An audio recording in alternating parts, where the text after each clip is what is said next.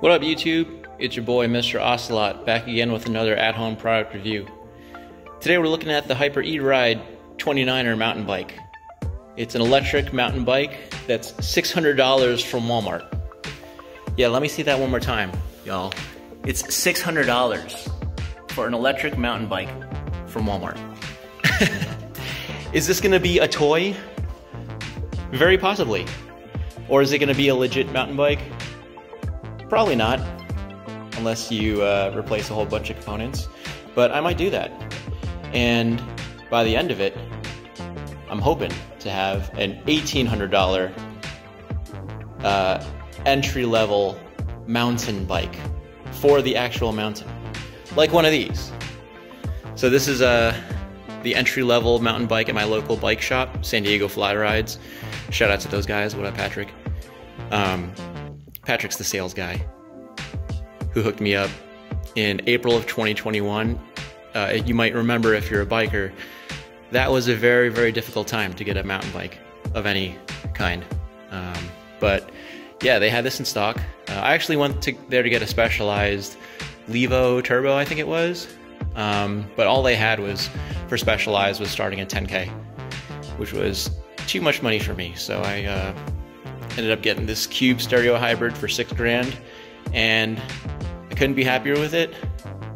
Um, it got me into mountain biking in places where I never would have dared to go before.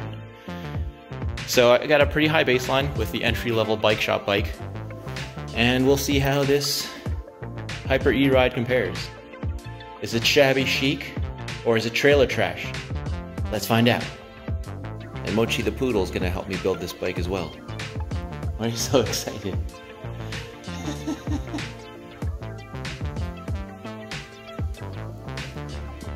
I've got some real concerns about how can a $600 electric bike be anything other than just a toy?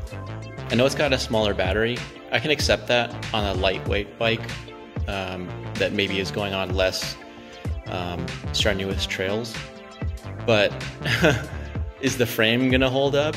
Um, the components I know are trash, but is this design of bike, you know, with the rear hub motor, is that gonna hold up? Um, does that really throw off the weight distribution? The battery, is it gonna hold the charge and continue to hold charge after a few rides? We'll see.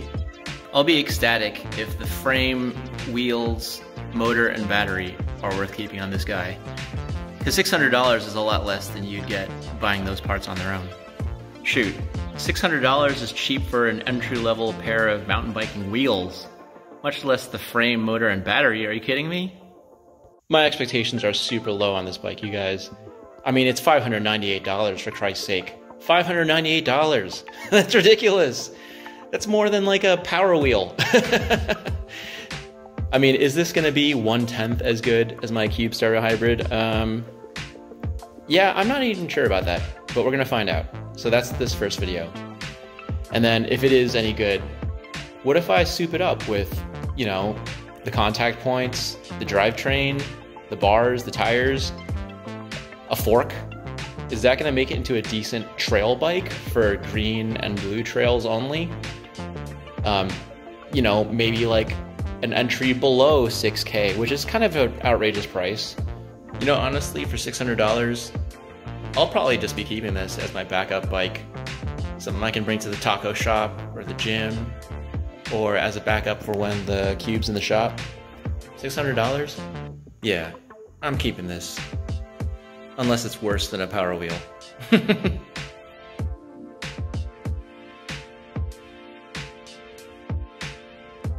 All right, guys, so far all I've done is pull the bike out of the box. It all came out in one piece like this.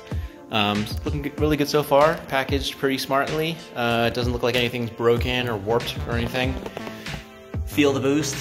That's what I'm hoping to do here. Um, ooh, okay, so that's interesting. So it says the wheel size is 29 inches, which is what I, uh, uh, I knew about. And then it says rider height six foot and up. So that's really good to know. Um, many, many people will not fit this larger frame and wheel size because it's a 29er. So if you're smaller, I would refer you to an even cheaper bike, the Hyper E-Ride 26 inch um, wheel bike, which is $398, so $200 cheaper than this. Uh, it does not come with disc brakes, but it does come with the posts for disc brakes in the back. And then if you replace the fork, you can get posts for disc brakes in the front too. So it's definitely also an upgrade candidate. Uh, otherwise, it's pretty similar. Smaller frame, obviously. Smaller bars, I think I heard. Um, but still a slam and deal. $398. I mean, that's arguably even better than this. So if you're below six foot, get that one. Um, I am really happy to see that the pedals are made of alloy and they're pretty nice. I mean, they have the cheesy reflectors on them, but they're usable. One of the big questions I had about this build is, what about these wheels? You know, um, the slightly more expensive Schwinn Electric Boundary, which is also sold by Walmart, advertises itself as being more mountain bike serious um, because it has double walled wheels. Are these walls double walled? Well, in fact, it turns out, upon inspection, not only are they double walled, uh, which I can tell by just feeling the width between the inside of the wheel and the outside, um, it looks to be come taped with a rim tape. So that's nice. Well, this is pretty interesting. I'm reading the manual and it's telling me uh, attach the front wheel with a quick release. Shows pictures of a quick release, quick release there, test the quick release. Guys, this comes with a bolt-on wheel. What are you talking about, Hyper? I'll take it. I mean, I know there's a supply chain sort of shortage and everything, but um, yeah, just something to be aware of, guys. So here's the saddle, and just like Kev Central said, this is a pretty decent looking and feeling saddle. Um, I've bought saddles like this off of Amazon for 30, 35 bucks. You know, the no-name Chinese stuff. But um, this is kind of comparable to that. It's not the softest gel, but it is gel. Here's a little detail that other YouTube reviewers have pointed out, and that's that the saddle brand is Snafu. What is Snafu, might you ask? Well, I believe the Webster's definition of snafu is situation normal, all messed up. Of course, I did see that one reviewer actually broke the saddle frame here, which that's actually happened to me with the um, the Amazon saddle that I had. So it's kind of comparable to that. It's like a $30 Amazon saddle. The seat post, um, it's your standard. Is that alloy or is it steel? It feels like it feels. Oh no, that's alloy. That's alloy. Okay, so good for the weight savings and um, decent seat post too. Alright, well as I'm unboxing this thing, I'm finding a couple of things that are not perfect. Um, this sticker on the crank arms, I'm not sure what happened there. I guess maybe from packaging. The uh, direction to screw your pedals in recommendation, that got kind of tore up and smeared on the crank arm. And then this is the sticker that goes on the lock for the battery, telling you which way to turn the key. And it's just not a very good quality sticker. It's kind of delaminating and coming off already. So on day one, mm, maybe not a great choice of sticker there. They probably save some pennies on this by doing it in English in America and French in Canada and France and Chinese in China, but they should have spent the extra money on a better sticker. Here's a comparison of the Hyper's battery alongside my Cube Stereo Hybrids battery. So the Cube is a Bosch PowerTube 625. I presume that means 625 watt hours capacity in there. Whereas uh, by my calculations, the Hyper has a little over 280 watt hours in its battery. The Hyper's battery is about 14, 14 inches long. The Bosch is about 18 inches long, so it's, you know, like a good 20% or so, 20 something percent longer. And it is wider also, uh, and I'm sure heavier. But as far as power density, um, the Bosch wins out. And this battery is made by Tianjin Shanzhong New Energy Technology Company Limited. Sweet. and uh, there's the specs on that guy. Oh, and the label says right there 281 watt hours. Sweet. So I'm going to turn this bad boy on for its first charge. It does say turn on the battery switch when charging. So here we go. First time. It's going to power up. There we go. Okay, so it showed up with, uh, let me turn this light off here.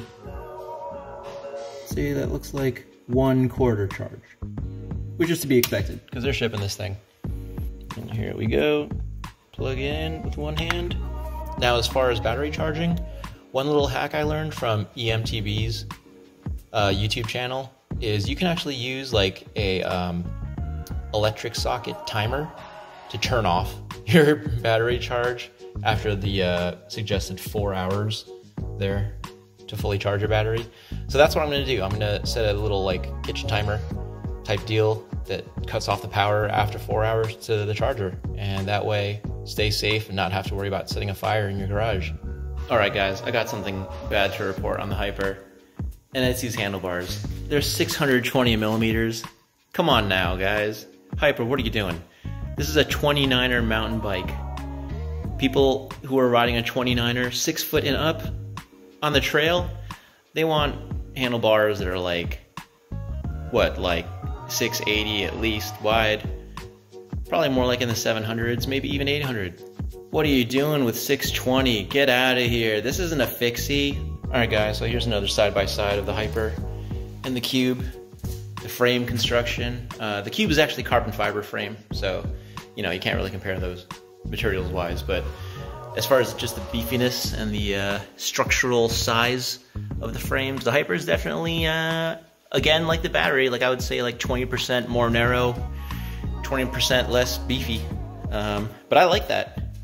Like I said, if I'm running to the taco shop, I kind of feel ridiculous rolling up on a $6,000 bike. the $600 is uh, good enough, as long as it doesn't crack on me. That's the big question. But like I said, I'm, I'm not taking jumps I'm not going on blacks. Probably not even blue blacks. Just sticking to greens and blues. So this frame ought to be fine. All right, so I got the front wheel on.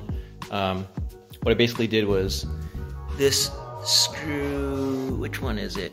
Here on the, uh, where my finger's pointing, on the inside of the brake caliper. I had to loosen that bolt a little bit to even get the rotor in. And uh, so I loosened it all the way, got the rotor in, tightened it all the way, the rotor wouldn't move. Loosened it in half turn increments until I got it sounding like this. And you can kind of hear, if you listen, the pads rubbing against the rotor. And the rotor's not perfectly true now that I was messing with it for so long. But um, I got it in there and uh, that rubbing noise from the outside pad that should get better as I, as I use the brakes and the uh, pad gets worn down a little bit. All right, guys, so it took me a couple hours to build the bike. Uh, Jean-Claude was watching me and um, got a couple initial thoughts. The uh, brakes are pretty rubbish. They're rubbing. Uh, I guess maybe they need to be broken in or something. But um, yeah, it kind of sucks the front caliper because the the space was so narrow out of the box while assembling it. Uh, I had a really hard time getting the rotor in there, and that took me uh, maybe like 10 minutes to figure out. But I got it in there. Um, brakes don't have much stopping power. Um, it, the wheels don't even lock up if I'm just pushing the bike in either direction. So I have like very little confidence in these brakes. Uh, drivetrain is rubbish, but we kind of knew that. I mean, that's not what you're buying for this bike. I mean, look how little those gears are. And this is a one by. So mountain bikers are laughing at that drivetrain. But, you know, if you're not going on any hills, I guess, you know, it's probably geared correctly. Uh, the handlebars are rubbish. Those definitely need to be replaced. Um, but you know, I can I can ride a green trail tomorrow. Um, the front fork, it probably has like 60 mil travel, is what I'm guessing. It's like a pogo stick, no adjustments. It's not an air fork. It's heavy, it's steel. Um, so one question I have actually about these rear hub motor e-bikes is, are they gonna be, is this one specifically gonna be balanced 50-50 or close to it? That's important because if you're going up and down a trail, trail, as Jean-Claude knows, you don't want a whole bunch of weight over the rear wheel when you're climbing because that's gonna have you loop out and do a wheelie and maybe fly off the back of your bike. So um, you know, on that guy, uh, I'm able to climb super steep hills, like hills you can barely walk up. So I would love to do that on this bike with the assistance of an electric motor, but I don't think that's gonna happen. What do you think, Mochi? Is it any good? What do you think of the frame and the battery and the motor? Does it look like it's worth keeping for 600 bucks? All right, pop quiz. What's the one feature this bike has that my $6,000 Cube Stereo Hybrid doesn't? Have you gotten it? Have you gotten it yet? That's right, a kickstand. You know, this bike reminds me a lot of the Wavestorm soft top surfboards you get at Costco. the old guard kind of hates on them, and they're not the best, but they're a slamming deal, first of all, and for someone who's just starting, if it gets them out there, it makes the sport more accessible and it's good in that regard. Just remember, at the end of the day, it's the person who's having the most fun who's winning. Alright guys, thanks so much for watching. I know I kind of ramble on and the video ended up being a little longer than I originally thought, but appreciate your attention if you watched this whole thing. And um, Jean-Claude and I both are asking you to please like and subscribe so that if you want to get more updates on the Hyper E-Ride 29er on the trail. Peace out. Okay, come on, boy. Come on, let's go.